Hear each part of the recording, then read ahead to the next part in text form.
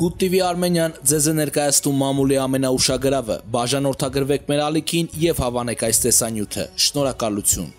Հայտնի դերասան Մկրտիչ Արզումանյանը Facebook-յան իր էջում գրել է. Հարգելի ծնողներ, ովքեր թույլ են տալիս իրենց երեխաներին այս օրերին Բաքում խաղալ, դուք իսկապես մտածում եք, որ այս ամենը երկարատև արձակուրդների նման մի բան է։ Բասեք, մենք էլ չանհանգստանանք, ամբողջ օրը տանը չնստենք, հիվանդների ամենօրյա ավելացող թվերին չհետևենք, չմտահոգվենք, դուրս գանք, ընկերների հետ հավաքվենք, խնջույքներ անենք, երեխեքը դասարանով կուրսով հավաքվեն քեֆ անեն։ Խնդրում եմ, մի արեք չի կարելի։ Շատ լուրջ վերաբերվեք այս ամենին։ Հարազատների, մտերիմների, հարևանների կյանքի եւ առողջության մասին մի փոքր մտածեք։ Հուսամ կմտահոգվեք։ Շնորհակալություն, առողջ եղեք։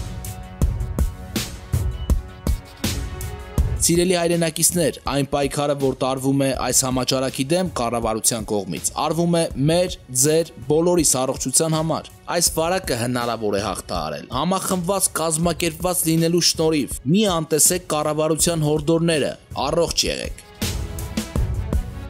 Շուրջ 800 հեկտար տարածքային կորստի հարյուրավոր զոհերի ու վիրավորների հանգեցրած ապրիլյան պատերազմի բազմաթիվ դրվագներ հայաստանցիների համար այսօր էլ մնում են մութ եւ չբացահայտված։ Նախկին ու ներկա պաշտոնյաների մեկը մյուսին հակասող հայտարարությունները ծնում են նոր հարցեր ու կասկածներ։ Մասնավորապես այս օրերին կրկին արդիական դարձավ հարցը արդյոք հայկական կողմի համար անակնկալ է եղել ադրբեջանական հարցակումը, հաշվի առնելով փաստը, որ զոհերի մեծ մասը հայկական զոն տվել է պատերազմի պատերազմի առաջին օրը։ Այն, որ պատերազմն անակնկալ էր 2018-ի ապրիլի 17-ին ազգային ժողովի ամբիոնից ընդունել է Սերժ Սարգսյանը։ Բայց եւ իրեն հատուկ դիվանագիտությամբ նկատել, թե մյուս կողմից պատերազմը անակնկալ չէր, ակնարկելով իր ունեցած հույսը, որ Ադրբեջանը չի անի երկու կողմի համար վնասակար քայլեր։ Իսկ ահա Հայաստանի նոր ղեկավարը վարչապետ Նիկոլ Փաշինյանը խոսեց ավելի բաց անցած տարեվերջին հոդս ցնդեցնելով պատերազմի անակնկալ լինելու թեզը ու այն վարկածը, որ հետախուզությունը հարցակման վերաբերյալ տվյալներ չի ունեցել։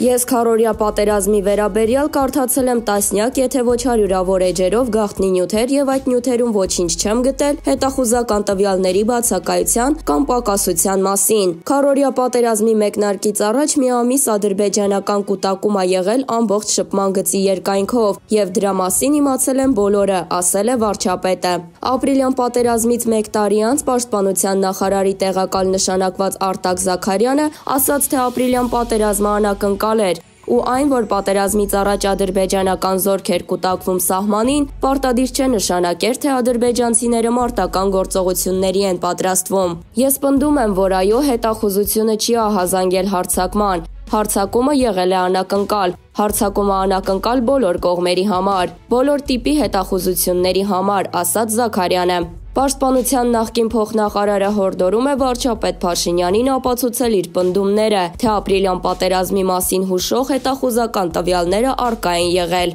Ապրիլյան պատերազմի հանգամանքները ողջելու նպատակով ազգային ժողովում ստեղծված քննիչ հանձնաժողովի նախագահ Անդրանիկ Քոչարյանը զարմանքով արձագանքեց Արտակ Զաքարյանի այս հայտարարությանը։ Ես ափսոսում եմ, որ Արտակ Զաքարյանի համար անակնկալ է եղել, եթե անակնկալ չլիներ, հաստատ մենք կլինեինք այլ վիճակում։ Պաշտպանական գերատեսչության ղեկավարները պետք է անակնկալի չգան, միշտ պատրաստ լինեն։ Եթե մենք շարժվենք այդ վարկածով, որ անակնկալ էր, այդ դեպքում ոնց են գնահատում հակառակորդի հնարավոր հարցակման ուղությունները, դրանց ելքերը ոնց անակնկալ էր։ Ռազմական փորձագետ Տարոն Հովանիսյանը կարծում է, որ առաջնագծում շարքային զինվորի համար ռազմական գործողությունները եղել են անակնկալ։ Այդ մասին վկայում է թե առաջին օրվա զոհերի մեծ թիվը, թե տարածքային կորուստը բայց Հովանիսյանը միանշանակ չպնդեց, որ հետախուզությունը տեղեկացված էր մոտալուտ հարցակման մասին։ Ասած դա կարող են անել միայն գաղտնի փաստաթղթերին տեղյակ պաշտոնյաները։ Ըստ ռազմական փորձագետի տեսականորեն հնարավոր է, որ զինված ուժերի որոշ օղակներում թերացումների հետևանքով վերահաս հարցակման մասին տեղեկությունները բավարար չափով չմշակվեին ու առաջնագիծը չպատրաստվեր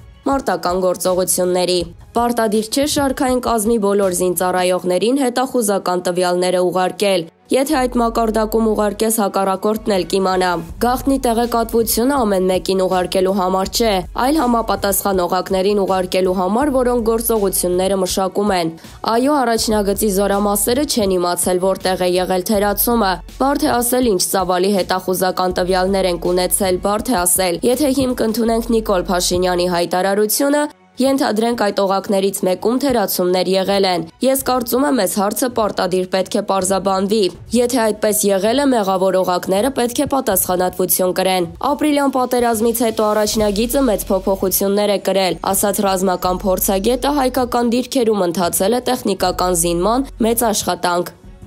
Կա ապրիլյան պատերազմի սանձազերծման աշխարհակաղակական վարկած, որը հանձնաժողովի ստուգման կարիքն ունի։ Ըստ վարկածի հեղինակների սպասվող ռազմական գործողությունների շուրջ գոյություն է ունեցել պայմանավորվածություն Մոսկվայի, Երևանի ու Բաքվի միջև ինչը ենթադրում էր ադրբեջանական զինուժի կողմից հայկական տարածքների գրավում եւ խաղաղության պայմանագրի ստորագրում ի վնաս Հայաստանի եւ Արցախի, ինչը ենթադրում էր տարածքային մեծ զիջումներ, բայց հայ զինվորականների դիմադրությունը խափանել է այս ծրագիրը։ Այս վարկածի հիմք է ծառայում մինչ օրս շրջանառվող այն տեղեկությունները, որ 2016-ին մոտալուտ պատերազմի մասին հետախուզական տվյալները չեն փոխանցվել առաջնագծի զինծառայողներին։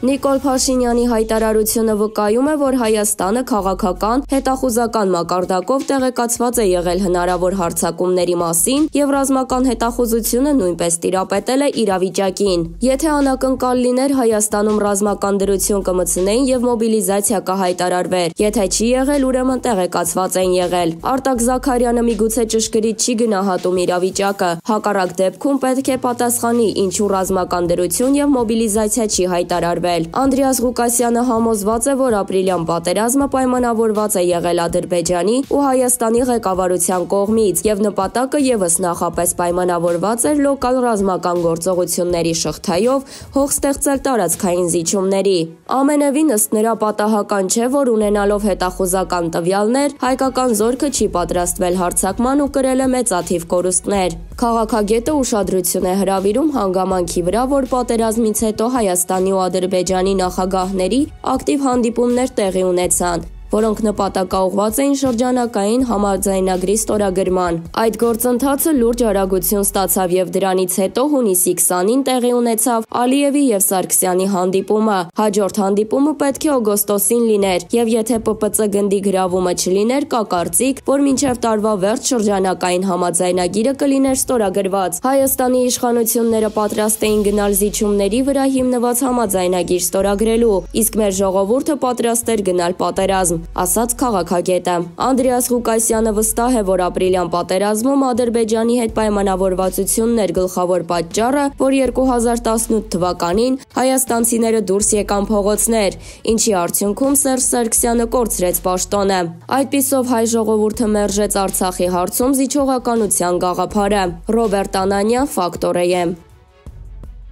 է։ Քրյա օլիգարխիկ համակարգը, որ ձևավորվեց անկախության առաջին տարիներից հետո եւ սկսեց ընտրակեղծարարությամբ վերարտադրվելու շղթան, մեծ հաշվով վերապրոֆիլավորվեց դեռևս խորհրդային իշխանության գործիքակազմում եղած քրյական տարը ենթամշակույթը։ Պարզապես եթե խորհրդային իշխանությունն այն հանրության դեմ գործի էր դնում, հանրության կառավարման մեխանիզմ էր, դիտարկում այսպես ասած լատենտ, առավելապես пассив ռեժիմում, ապա Հայաստանում քրյա օլիգարխիկ իշխանությունը քրյական տարը բերեց բաց ակտիվ ռեժիմի, ակտիվ կիրառման դաշտ անգամ այսպես ասած քաղաքական լեգալիզացիայի դաշտ։ Ավելին Հայաստանում սկսվեց այդ ենթամշակույթի լատենտ քարոզ, երբ հերոստայեթերում սկսեցին նկարահանվել սերիալներ, այսպես ասած լուրջ եւ հումորային, որտեղ հերոսները քրեական ենթամշակույթի կրողներ էին, օրենքով գողեր, հեղինակություններ եւ այլն, համարժեք լեքսիկոնով, համարժեք վարքագծով աշխարհայեցքով եւ այլն։ Համակարգը, որը այսօր ազգային արժեքների եւ ազգային մշակույթի իբրև թե պահ պահապանի դիրքում է,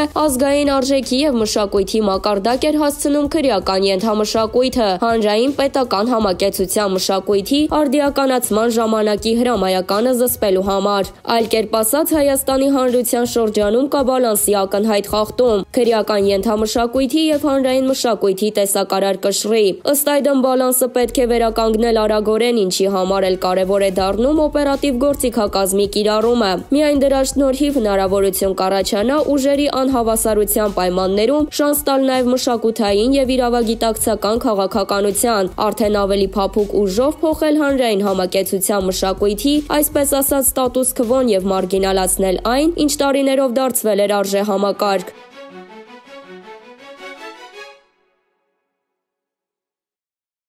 Սիրելի հայրենակիցներ, բաժանորդագրվեք մեր ալիքին, սեղ մեկ այստեղ հավանեք տեսանյութը։ Շնորհակալություն։